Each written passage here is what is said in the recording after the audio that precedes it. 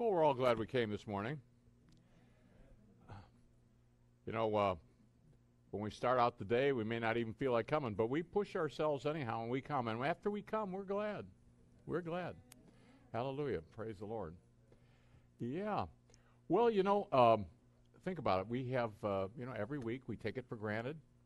There are 70 chairs out there that are filled every week with people who come for the Oneg Shabbat, the Sabbath delight.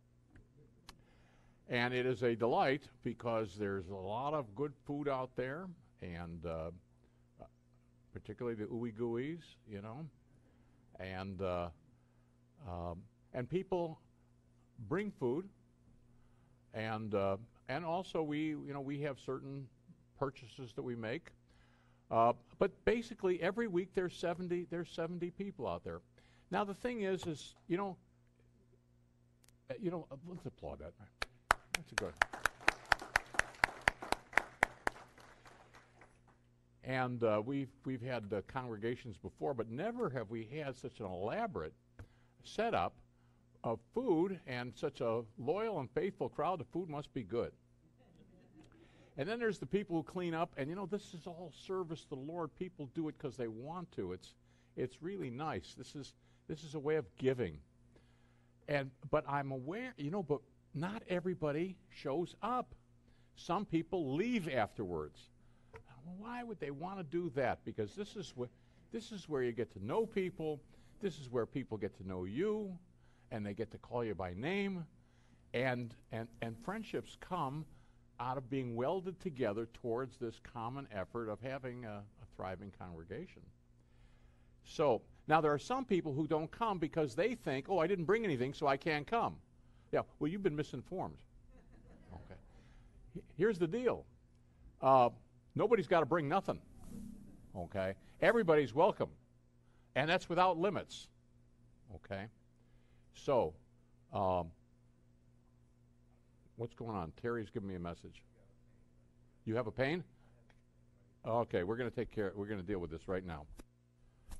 Terry's giving me a, a sign here. All right, hey. All right, let's let I want you want let's everybody pray right now for Terry. He's got a uh, pain in the chest. Ah, Heavenly Father, we just ask for your perfect peace on Terry. He is of such loyal and faithful service, a man of God dedicated to you. Lord, he follows you in every way. He keeps up his vessel. He takes care of it. Sometimes he has a hard time, but he's with the program all the time, no matter what. Lord, uh, at this time, we ask that you would relieve this pain, that it would come to nothing, and that he would be on his way to continue to serve you. And we'll just thank you for him and for this time together in Yeshua's name. Amen. Amen. Amen. Hallelujah.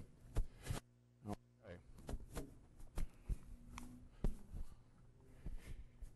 So, okay. Um, children's program. Want children to come forward. And our and our teacher who prepares every week. Okay. Bill, why don't you come forward? Stanley, you come forward. You know the drill. All right.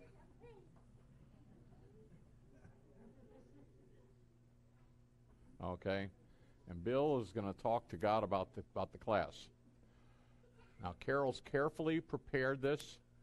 This is, uh, this is also a love gift to the Lord to prepare for the children. Now, just think over time how many, many children over a period of over 20 years, uh, how many children have been affected and uh, impacted for the rest of their lives because of this ministry. It's really something.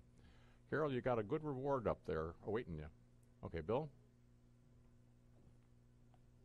Blessed are you, Lord, our God, King of the universe, who feeds all living things. We ask that you instill attributes into these children so that they may reflect your presence in their home, community, and in the world. This we pray in the name of your beloved Son, Yeshua. Amen. Amen. Okay, children. Hallelujah.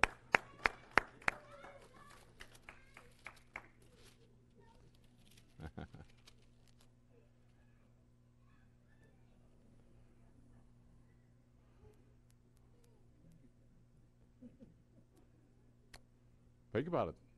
The Holy Spirit can be in here and in there at the same time. And we assume this, but actually, isn't that quite a miracle? It's quite a miracle. Um, so, the Holy Spirit it can be everywhere at once, is everywhere at once, wherever people uh, want Him to be, and wherever He's invited, He goes. He goes. And uh, so, uh, we want to issue our invitation here this morning that he would come in and liven his word that he wrote, and he prompted people to give it and, and have it organized in the chapters and verses. So let's pray uh, together. Uh,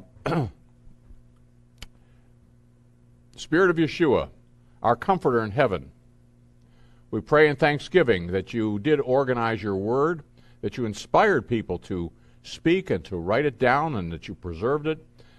We ask that you would uh, make it alive to us this morning, that you would speak to people's hearts each in an individual way.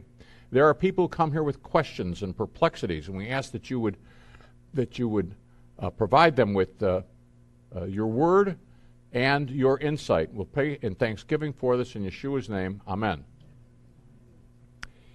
So, um, now we have uh, in our Bible study and also in uh, recent messages, uh, we focused on the book of Judges. Uh, you remember that uh, a few weeks ago we spoke about uh, Deborah. Uh, she was she was a judge. You see, we had Moses, and Moses got very busy. Father-in-law Jethro said, "Listen, you need some assistance here. So why don't you appoint judges to kind of, you know, allocate the work among among many other individuals?" And so we had, now Moses passes away, the warrior Joshua comes in, but basically, for a period of hundreds and hundreds of years, um, that's all they had. They did not, uh, un, until the time of the book of uh, uh, 1 Samuel uh, with Saul and David and Solomon, there was no king, and there was no central leader. And that went on for, for a period of hundreds of years, and all they had were the judges and someone would arise who had a leadership gift, and uh, and some outstanding things happened. So we're going to look at one of those judges this morning, okay? And I'd ask us to turn to Judges chapter six, book of Judges, and chapter six, uh, verse eleven. Uh, we uh, we learn about Gideon. Chapter 6 and verse 11 says, And there came the, the angel of the Lord and sat under an oak which was Ophrah that pertained to Joshua uh, uh, uh, the Ezraite and son Gideon, threshed wheat by the winepress to hide it from the Midianites. Who were the occupying power, the Midianites? Uh, that's often probably what we would call Saudi Arabia today. And the angel of the Lord appeared unto uh, him, Gideon, and said unto him, The Lord is with thee, uh, thou mighty man of valor. Gideon said to him, O my Lord, if the Lord be with us, why, why then has all this befallen us, and where be all his miracles which the Father told us of, saying, uh, Did not the Lord bring us up out of Egypt? But now where's the Lord? He has forsaken us and delivered us into the hands of the Midianites. Oh, boy, can we relate to that. How often do we come up against it and we say, oh, now where is the Lord? Where are you? I mean, you're supposed to be God, but you're not doing nothing for me.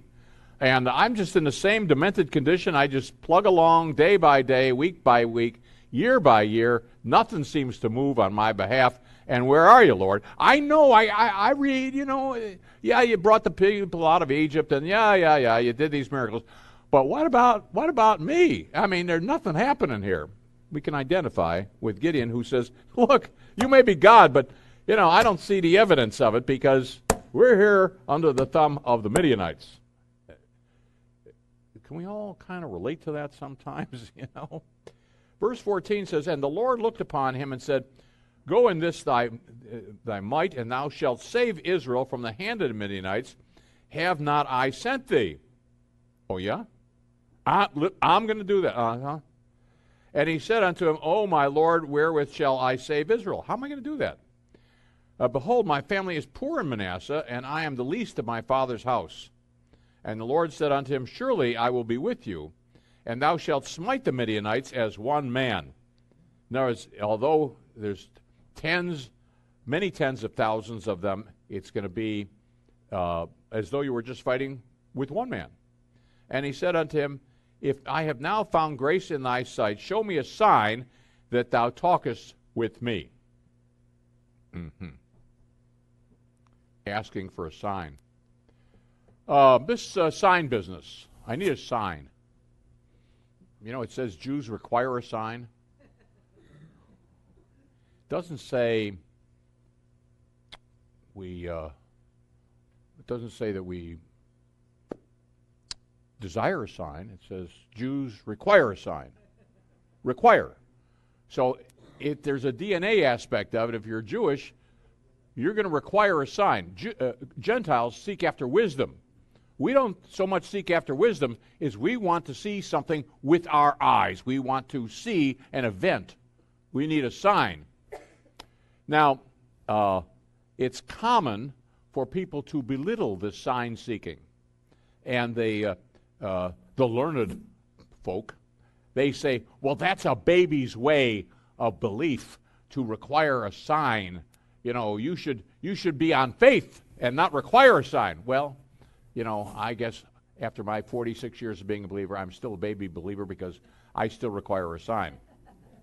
Okay. I am so much comforted by a sign and and you know I can ask for a sign and I get a sign. It may not be a sign that you would relate to, but it's enough of a sign for me that I can go on it.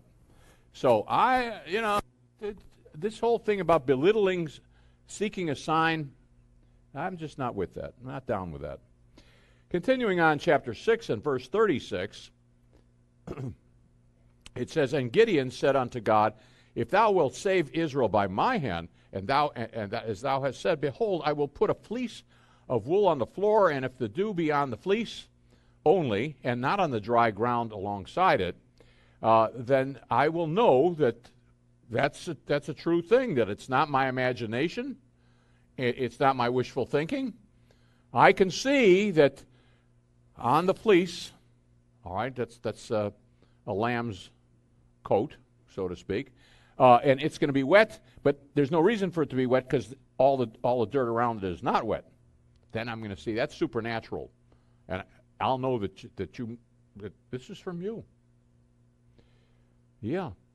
So he arose up early in the in the morning and thus uh, put the put the fleece the fleece was out there and sure enough the dew was on the fleece a full bowl of water was you could wring out you could there was an, enough water on it that you could take this uh, this lamb's coat uh, and uh, and wring it out and it would come to a whole bowl of water it was it was soaking it was soaking and gideon said unto god uh, now listen i know I, I don't want to ask too much. I mean i know you're god and everything and you just gave me this sign but you're telling me that i've got to take up against a superior force, uh, and uh, so I'm, I'm, I'm uh, I don't want to be uh, I don't want to be insulting to you, but in verse 39, and God and Gideon said unto God, Let not thine anger be hot against me, and I will speak but this once. But let me prove, I pray you, but this once with the fleece, I know you did it, but I need a little further confirmation. I'm going to be out there at big risk. I need something more. Uh, let it now be dry. I'm going to ask you for the opposite. Let it now be dry only on the fleece, but on the ground, make it all wet. Okay? So a direct reversal of this. And then I'll then I'll know, hey, this this is this is not accidental, this is really supernatural. And God did so that night, for it was dry upon the fleece only, and there was dew on all the rest of the ground. Ah, boy, oh boy. This Gideon, he had a big task, but he asked for a big signs too. Chapter 7. In chapter 7, it, uh, our tale goes further and says, And the Lord said unto Gideon, The people are with thee, are too many to, uh, the Midianites, uh, to give the Midianites into your hands. In other words, there's not enough glory for God because you've got so many people. Sir, if you won, it was because you had so many people. So, uh, listen, uh, you asked me for encouragement, and I gave you encouragement. I gave you a sign. But listen, you know, I'm a God, uh, you know, who glorifies Himself, and so I don't want I don't want Israel to vaunt itself. It says in verse two, uh, saying that by my hand Israel could be kind of like prideful, like well, we overcame them. So he says uh, in verse 3 Now therefore go and proclaim to the ears of the people, saying, Whoever is fearful and afraid, let him return and depart from Mount Gilead. And the return of the people, 22,000, and there remained 10,000. So if, if you have trepidations about going into battle, and you see that we're surrounded and outnumbered, and you're fearful, just, you know, go back to your tent. So of the 22,000, only 10,000 remained afterwards. 10,000 that said, I'm up for it. 10,000 out of 22,000. Well, that's still a pretty good force. 10,000. And the Lord said unto Gideon, The people are yet too many. Too many. There's still, there's, you may still, when I give you the victory, you may think you did it. So that, this is going to be clear. This is going to be very clear that I, the God of Israel, that I was the one who undertook on your behalf. Nobody else is getting any credit but me, God says. And so the Lord said unto Gideon that, that there's too many, bring them down to the water. I'm going to uh, I'm going to try them, and it will be for them that I say unto you that that those who are uh, I want I want those people who will scoop up the water with their hand, and I want you to remember which ones those are. And then there's uh, then there are others who will kneel down and lap it up. Okay. Uh, kind of a silly thing, but that's what God said, so Gideon goes with it. Okay. So it turns out that there's only 300 that actually scooped it up in their hand. You know, try try drinking water out, out of your hand. But there were 300 that did it that way, and so God said, "All right, those are the 300 I want." Why God wanted those 300? Well, we can speculate, but basically the important thing is that only 300. God wanted only 300. Now there's probably there's ten, many tens of thousands because even at 22,000 the, the Jewish people were outnumbered. So there may have been 50, 80,000, 100, who knows how many, but they were clear they were outnumbered uh, and this was a powerful military and there's only 300 that's going to battle against them. The superior the superior force. So the people took victuals in their hands and their so they, they, they victuals. What is that? It's like food. Uh, in their hand and their trumpets. And he sent all the rest of Israel, every man to his tent, and retained those 300. Uh, and the host of Midian was beneath them in the valley. So sends everybody back. The 22,000, they're all gone. There's only 300 now remaining. And they're in the and the Midianites are in the valley. And uh, Gideon now disperses the forces all right. In uh, verse 17, it says, And he said unto them, Look on me and do likewise. So he divides them into, uh, uh, and do likewise. Behold, when I come to the outside of camp, it shall be, and what I do, you do. So he divides these 300 people into thirds 100, 100, 100, let's say. And they stand atop the, the rim of the valley, and they're looking down on the valley, and it's like locusts. Everywhere you look, there's, there's, there's the Midianite forces, and there's just 300 on the top. But Gideon has been given kind of a strategy or tactics. How, how, do, how do he says so now? When I blow the trumpet, now you just do what I do. When I blow the trumpet, uh, all the, the, you're with me, then you blow the trumpets. And on every side of the camp, I want you all to yell, "The sword of the Lord and of Gideon." So you blow the trumpet, da da da da da da da. Uh, the Lord, uh, the sword of the Lord and of Gideon. I'm yelling the, the sword of the Lord and Gideon. Da da da ba ba ba. Yeah, I'm blowing my horn and I'm selling and I'm and I'm saying the sword of the Lord and so on. Doesn't sound like much of a battle strategy, but that's what's going on. Okay. Now suppose you're one of the 300 and you're saying, I'm doing it, but you know, it's better work. There's only 300 of us, and there's tens of thousands of them, but I'm doing it. Gideon's heard from the Lord, so he says, I'm, I'm with it. Verse 19 So Gideon and a hundred men that were with him uh, were outside the camp at the beginning of the middle watch, and they uh, set their watch, and then they blew the trumpets and broke the pitchers uh, that were in their hands. So they got some clay pots, and they're blowing their shofar, and then they break the pitcher, making a lot of noise. But there's 300 pitchers being broken and 300 um, shofars being blown, making a lot of noise. So, um, and the three companies blew the trumpets and broke the pitchers and held the lamps in their hands and the trumpets in their right hand that blew withal, and they cried, The sword of the Lord and of Gideon. So now, let's see. Now they've got a they got a, a shofar. They they've got a they, they they've they've got a horn in one hand, okay, a trumpet in one hand, all right, but they've got their lights in another hand, all right. Notice both hands are occupied. They got their lamp in one hand, the shofar in the other hand. Where's their sword? Where's their spear? Where's the bow and arrow? Huh? This is what they got. They they got a broken pitcher, it's on the ground. They got a lamp and they got a shofar, armed to the teeth. That's them. Armed to the teeth. Okay. So, um, but they're with it. Those 300, they're staying with it. And they stood every man in his place round about the camp, and the host ran and and and and and, and the Midianites ran and cried and fled.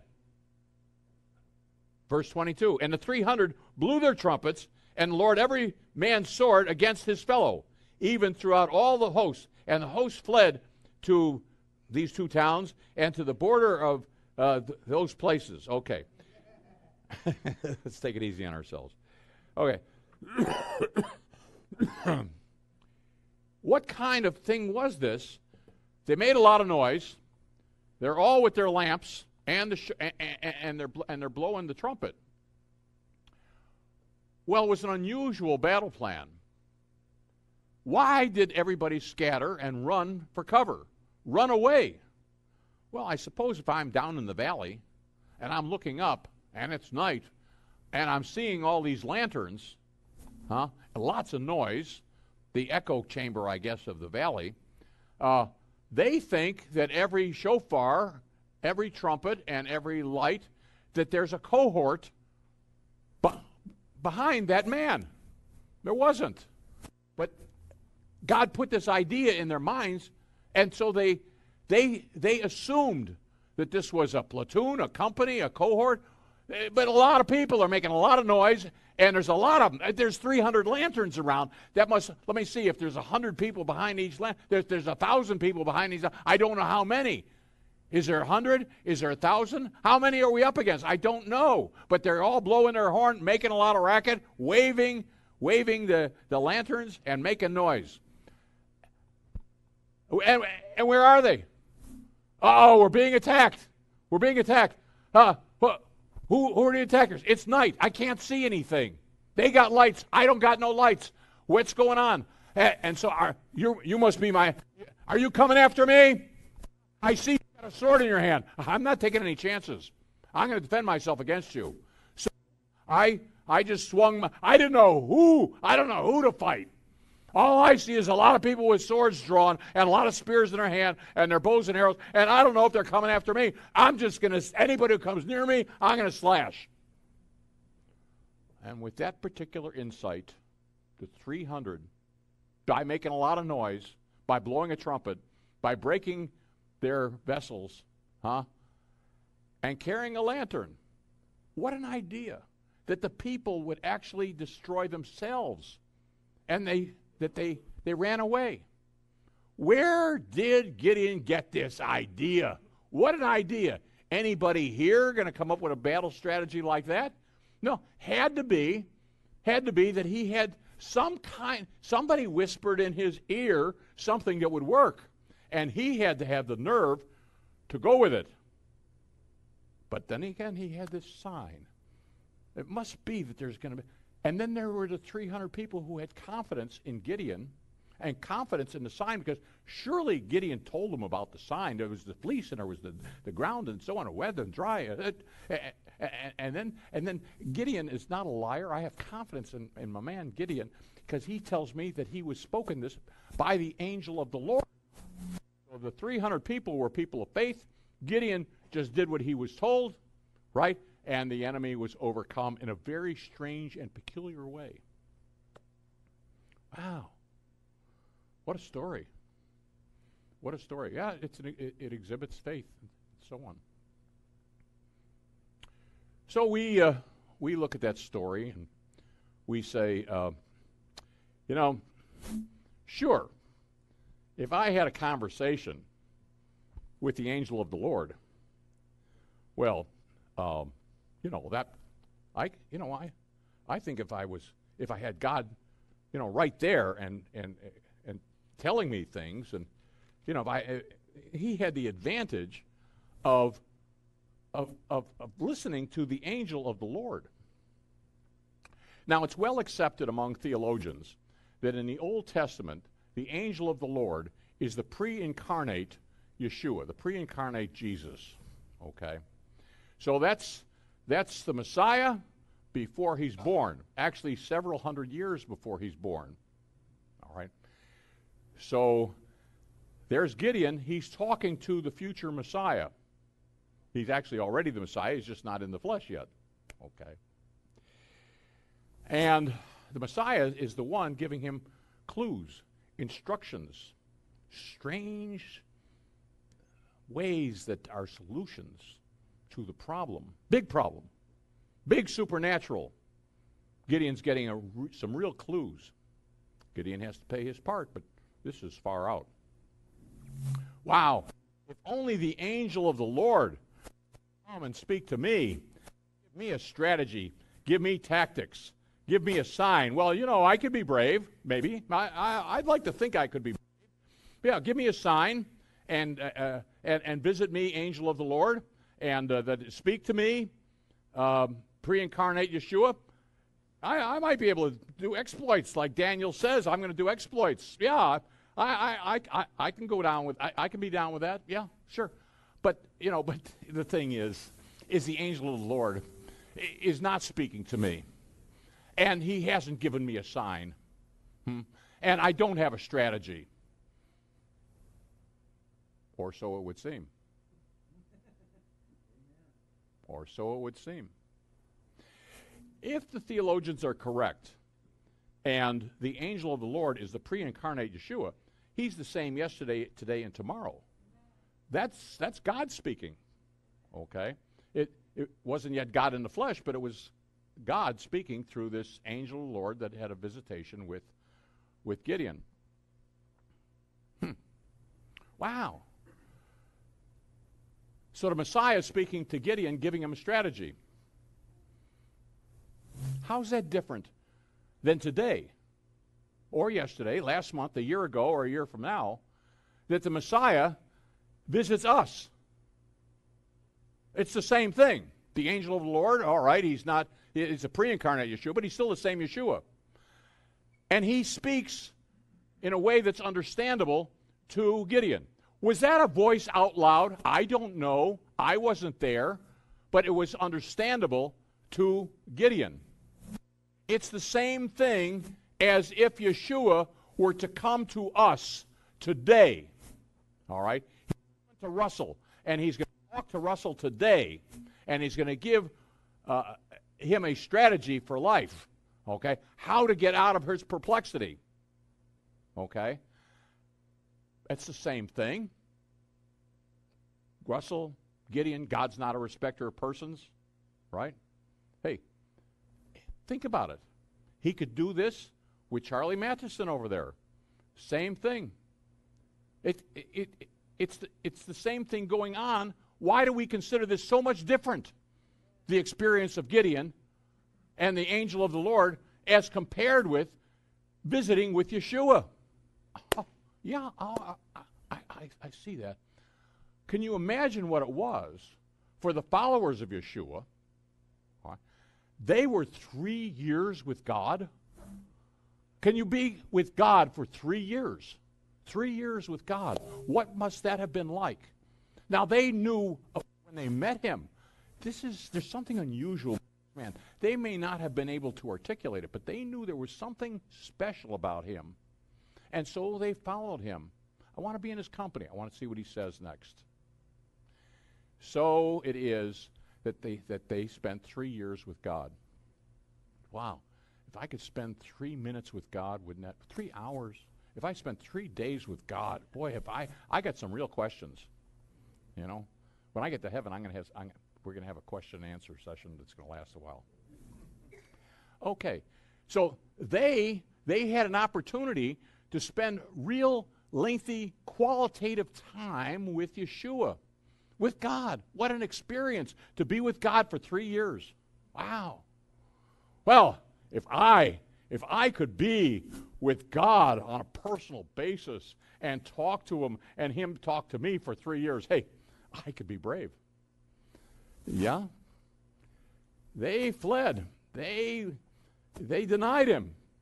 They couldn't believe that he was resurrected. They, you know, even after 3 years doubt was there. Doubt was there.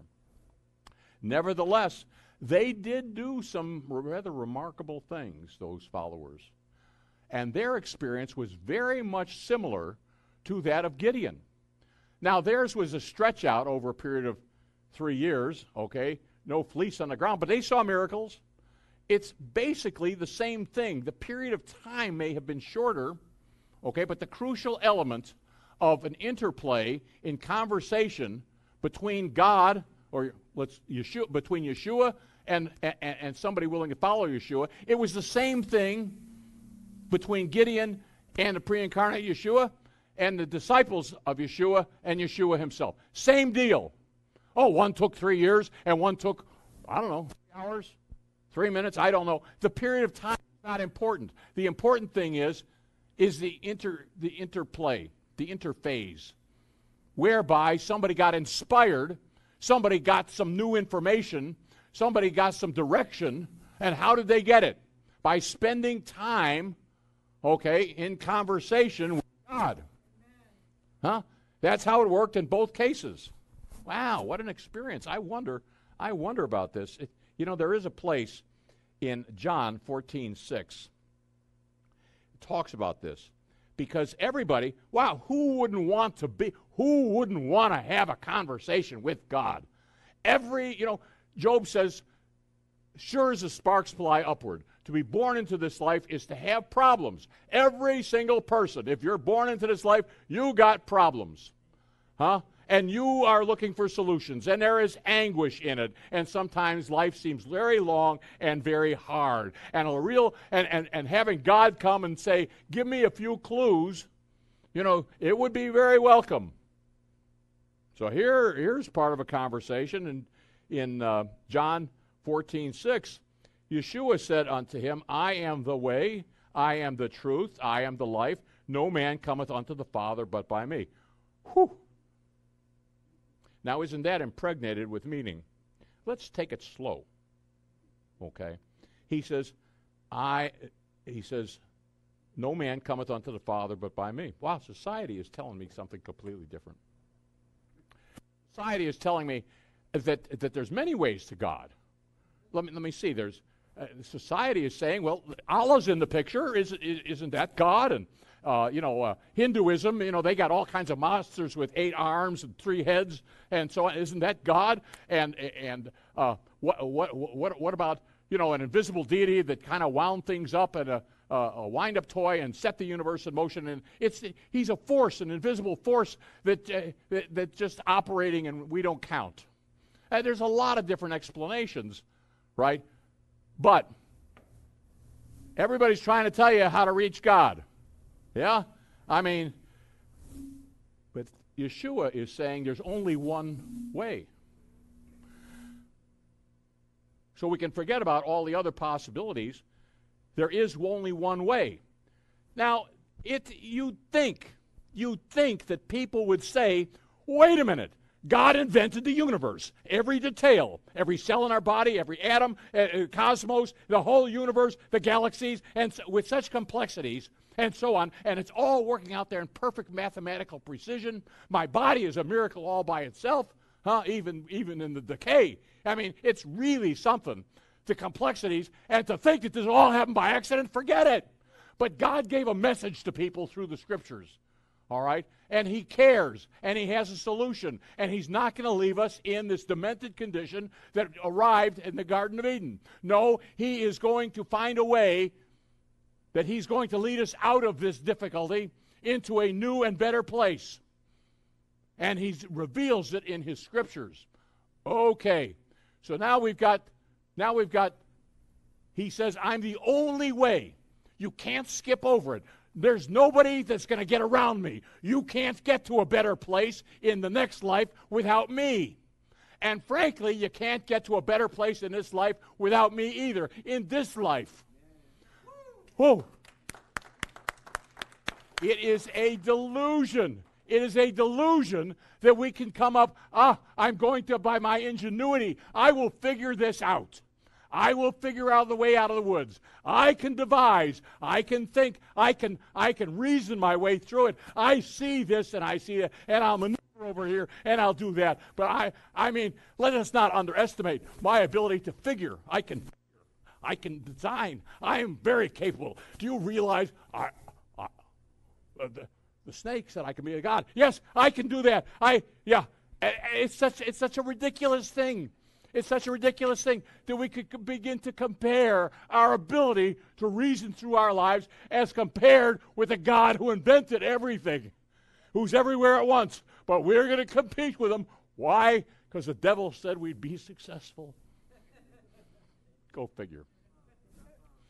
There's no way around it. And if we want to be in a better place in this life, oh, it's a delusion to think that by reasoning in our flesh, our flesh is what got us into this whole difficulty. That's where we, our flesh never gives us the right answer. Our flesh always gives us the wrong answer. The directly wrong answer you can get from your flesh. Okay? So, my flesh always lies to me. Yeah, my, think about it. Oh, if I'll have that bowl of popcorn, I'll be satisfied. At the end of the bowl of popcorn, I'm more desiring of something else. Give me a dish of ice cream. Okay. Followed by peanuts, potato chips, etc. But there, the lie is, is that I will be able to get satisfaction. I can't get no satisfaction. Huh? You can't get no satisfaction. It is a lie. It is a deception. It is a mirage to think that we can actually get satisfaction and that the answers will come through the flesh. The flesh always lies to us, always says that if you'll just do this, that, the, that, that your satisfaction will come, and the satisfaction never comes. The flesh never leaves us in a satisfied way. Never. Always. So why do we continue to rely upon the flesh? The flesh does not have answers for us. The flesh always leads us in the wrong direction. And when I say the flesh, I'm not just talking about the physical flesh, I'm talking about the emotional flesh too. The world system. We just have an inflated idea of what of what we can do. We have we we have believed the lie of the snake that we can be as gods. Oh my goodness, I'm so important. I'm in charge. Did you hear me, oh God? I'm in charge and I will find my own solutions because I am just that good. Yeah.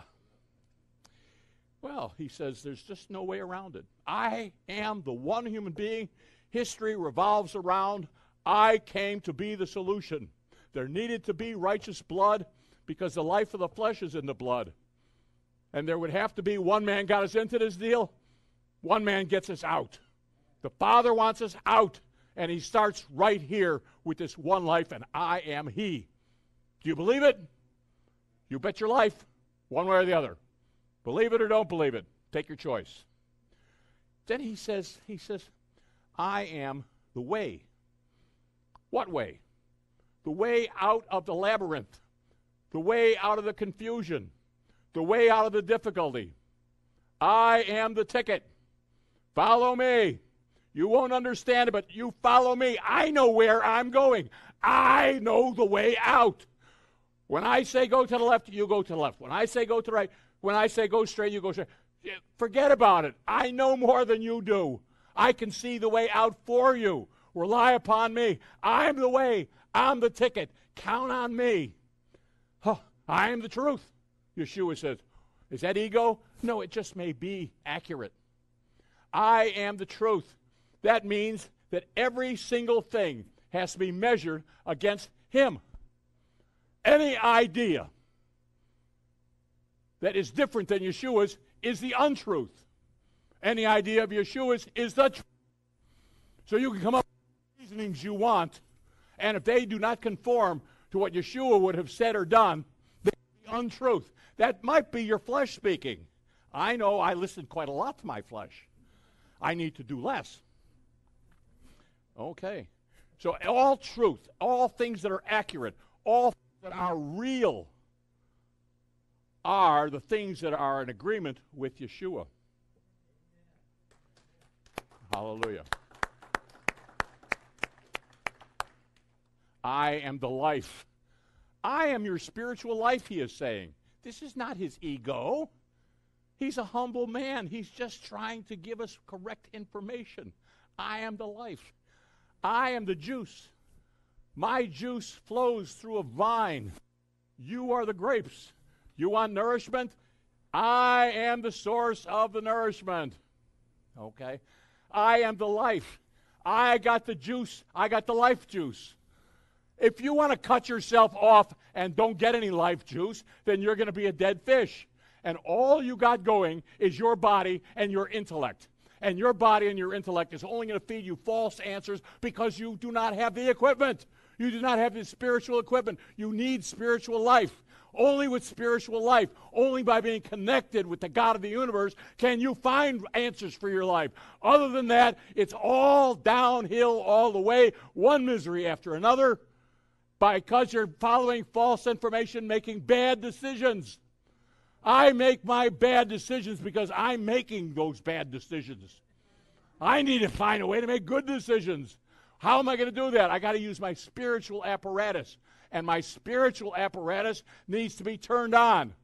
I was almost 30 years old by the time I finally, finally got my spiritual apparatus turned on. Now I'm not just a body and not just an intellect. I got my third vestigial spirit activated. Bango! Oh, hey, lightning went through it, and I had no dream. I had no, but I knew there's something going on. I do accept the Messiah. I don't understand it, but I accept it. So I accepted the Messiah, and presto changeo, I was born again. I was alive to the Spirit. I could hear from God. And, and suddenly I had something else going for me that I didn't have before. It arrested my slide. I had made bad decisions that I even realized I was had made such bad decisions that got me into my after another. Yeah, I gotta have I gotta have the way, I gotta have the truth, I gotta have spiritual life. Without spiritual life, I'm spiritually dead. My spirit is dead. All I got is my body and my intellect, and that won't do it for me. I need to be connected with God in order to get God's information, and He knows best. Father does know best in this circumstance.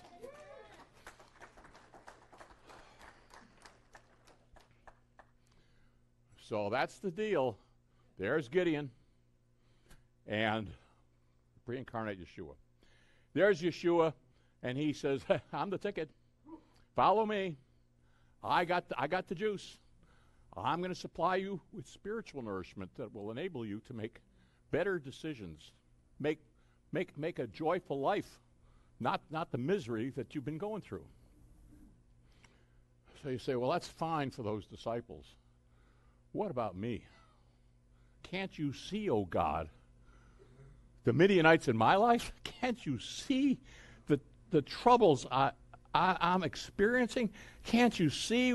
I keep it. My flesh keeps telling me there's a way out, but it, it doesn't seem like there's a way out. I just go from one misery to the next misery, and when I solve that misery, there's another one waiting for me, and so on. And must it be all my life this way? No, it doesn't. What do you need? Well, I need the same thing had, and I need the same thing those apostles, uh, those disciples had. Yeah, if I had that, I could get somewhere. Well, my friends, my friends, there is, you do have the same thing available as Gideon and all the disciples. What did they have? What did they have? They had relationship. They had relationship with Yeshua. Okay? Gideon had it with the pre incarnate Yeshua. The disciples had it with the incarnated Yeshua. With the post incarnated Yeshua. But he's still the same Yeshua. Okay? They had conversation. He filled them in as to what to do and where to go and how to do it. Same thing with Gideon, same thing with the disciples, same thing with us. Oh, yeah. Well, I haven't had I haven't had a vision and I, it's hard for me. I can't see anybody. If, they, if I could see them, uh, I'd believe. Yeah, and uh, if I had evidence, but I don't have evidence. Yes, you do. What's the evidence? Oh, God Himself is with us. Oh, yeah. It says that, that God, that the Word became flesh. The Word was God. The Word is Yeshua. This book is Yeshua. He's in a different form. He was in a different form. He was in a different form with Gideon. He was in a different form with the disciples. He's in a different form now. Now he's in print, but it's still the same Yeshua. And how do we connect? Oh, I can have a conversation with God. He can have a conversation. Well, okay, I, if I become acquainted with the Bible, I will develop God's vocabulary. Yeah, I can, I can, I can hear from God because it's in print, and I can interface with the print interface with these stories and with the print, I am in conversation with God. It is the possibility of Him speaking to me. And what's more, what's more, it's not just Him speaking to me. The devil can't stand it when I am in the presence of God, when I'm in the presence of the print, when I'm in the presence of Yeshua. Devil and all the negative angels, they must flee. They hate to hear it. They got to get away because it's a reminder of the lake of fire that they're eventually going to. They flee, leave the room. And now, now I'm reading and I'm or I'm singing, I'm praising the Lord, I'm, I'm praying, whatever it is, they're gone. Now I can, i will get a new idea. It just quietly slip into my mind. Can't be sure that that's from the Lord. But over time, I develop a capacity to know when the Lord is speaking to me. Doesn't happen right away. But over time, we gain experience and know when God is I think maybe I've maybe the Lord's telling me, maybe He's suggesting. I think maybe I have heard from the Lord of what to do, what to do. I'm going to act on faith and go with it. So we have we have an opportunity, as these others did, to be with God. And how do we do that? Well, there's a whole variety of ways. So long as we spend our time with God, He will give us right ideas. He is the truth. He will show us the way through the woods. He is the way. He will fill me, he will fill me with his joy. You notice when you're in this room, when we're talking about right now, when we're exalting Yeshua, when we're singing his praises, there's nobody worried about bill paying. Uh, we're not focused on all the bad problems of life. We have escaped that reality. You see, there's the AM and there's the FM of life. And in the AM, it's just plain old flesh. And just our bodies cry out, I need, I need, I need. And emotionally, I need, I need, I need. And so, and, and it doesn't work. I got to be switched over to FM, a completely new, a completely new kind of music. Huh? And I can hear something completely different. So, why do I spend time listening to AM flesh when I could be spending my time with God? Well, because I'm kind of half dumb and stupid half the time. But I got to tell you that when I do, when I am willing, when I am willing to give that a go, believe me, I got to be desperate. It's when I'm really in need of an answer. Finally, finally, I will get around to seeking God. Until I time, I'm a human being, so I can handle it. Huh? Maybe I'm not alone. Huh? We don't much feel like we don't much feel like doing it. It's kind of like kind of like do I have to? Well, Paul, you're supposed to read your Bible all the time, morning, noon, and nighttime. You read your Bible. Yeah. Well, I don't feel like it. Do I have to? Huh? How about praising the Lord? I don't really feel like praising the Lord. I'm kind of getting beat up by life, and I don't really feel like praising the Lord right now. I'll wait until Saturday. you think I'm any different than you are? Same deal, okay? Suppose we were one of the disciples and we said, All right, I got to get up tomorrow and I got to deal with God. I'm going to have to go and I'm going to have to watch him multiply the fish and the loaves. Yeah, I know, yet another day. Um, yeah, sure. Okay, he's going to do healings. And yeah, I'm going to be aware. I'm going to know about the healings. Yeah. Uh, do I have to? That's what we're doing. Do I have to go to services? Do I have to pray? Do I have to read the Bible? Do I have to be with God who invented the universe. No, you don't have to. We can just lay there in our misery, right? Have to be with God. It sounds kind of silly once I say it, but the answers are right there to be with God. How else can I be with God? I tell you, I've discovered you cannot think two thoughts at the same time. Try it. Try saying the alphabet A, B, C, D, and at the same time count from 1 to 100. Can't do it. Let me see. Either A, B, C, D, what, D, E, uh, 3, but you can only think one thought at a time. Can, one thought at a time. So if I am singing to God and I'm singing those words, what's coming out of my mouth, okay, kind of crowds out the other thought because I'm only thinking about those words. We got people, myself included, who speak in tongues. All right? What we're doing is, is, is what's coming out of my mouth, I'm saying something else, so I can't think of the negative thoughts. Okay? But during that, so now if a thought comes into my mind while I'm singing or while I'm praying in tongues, okay, that thought, where did it come from? I didn't think it. It wasn't in the music. It wasn't in this gibberish that I don't understand. No, it had to come from somewhere. That was an original thought that wasn't mine. It came from outside of me. Then I'm getting coaching from the Lord. I got goosebumps. I just got goosebumps just now. Because the Lord, where the Lord is in it, I get a deep and peaceful feeling about it.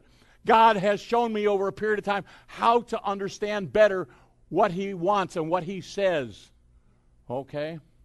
So, I can if I will do, if I'll be focused on God, those revealing thoughts of what to do will quietly be visited upon me. Kind of work the investment because I can spend hours and days and months trying to figure it out. But what is one word of the correct solution? What's it worth? We got inventors. What's one good idea worth? Hmm. Do I have to? Do I have to spend time with God? Must I spend three years? Huh? Must I win the battle against the Midianites? Do I have listen to the angel of the Lord? We don't got to do nothing. But am I stupid? I must be stupid not to grab onto the solution more than I do. Yeah, I'll tell you, our God is mysterious. He is mysterious, but he is out there with solutions.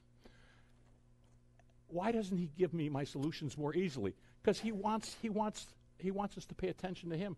He wants the relationship. He wants us to be involved with him. That's it. That's it. He wants the inter involvement. He does care. He is watching. He does have all the answers. And He's willing to give them to us. He is not stingy. Oh, you've had your answer this year. Nothing more for you. Get it. Get it. Gideon. Why did he ask for the sign? He needed a little more encouragement. I needed. I, I, Gideon was asked to do something that was irregular. It was going to call for doing something that he didn't think he was capable of doing. Okay? So, God, I need a little more encouragement.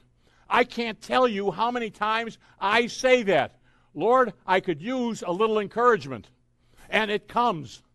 It may not come that hour or that day or that week, but the encouragement does come. And I say it just that way. And Gideon said, I need more encouragement. And God is not short of encouragement.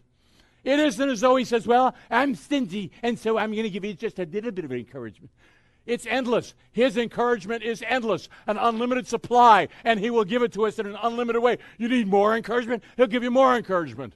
Oh, maybe you got to spend some more time with Him to get a little more encouragement, but it's worth it. Huh? He wanted encouragement. Clearly, the disciples, they wanted to be encouraged, and they were encouraged. Okay. Now, here we are. We're in a situation, we're the body. In the aggregate, we're the body. And that's what we do. And frankly, that's an assignment for a congregation to be encouragers. Frankly, I don't like messages that say you've got to measure up. You're not, you know, you, you're not doing a good enough job. You should be doing this. You should be doing. I, I don't like that. I consider it an assignment that a, our congregation should be underscoring with affirmation and encouragement and showing the approvals of God. We need that to be underscored. We need to have our confidence built as that God is with us. We need that. Oh, we need to hear more of that, not less. We don't need to hear how we're not measuring up.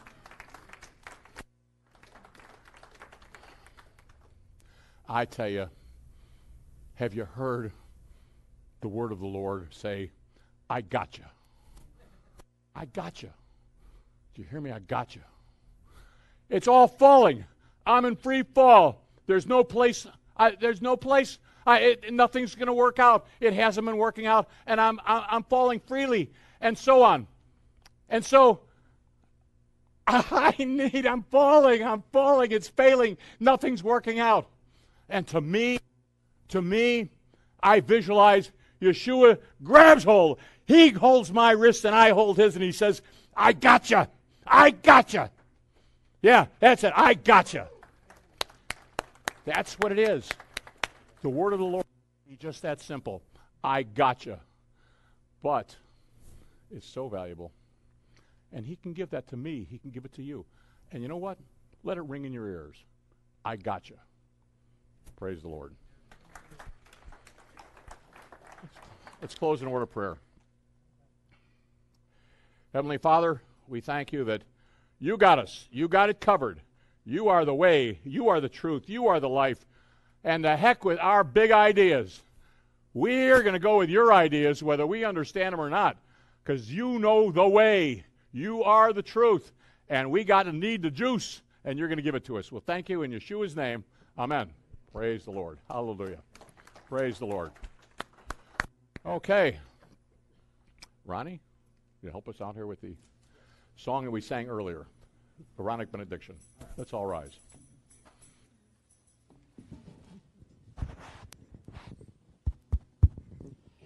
And the Lord spoke to Moses, saying, Speak to Aaron and unto his sons, saying, This is the way you shall bless the children of Israel. Say to them, Ive rekeka Adonai ve'yishmareka.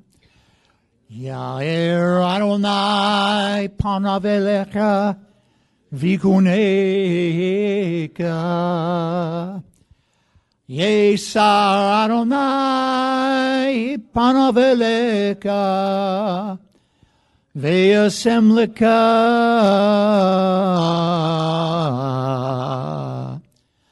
Shalom.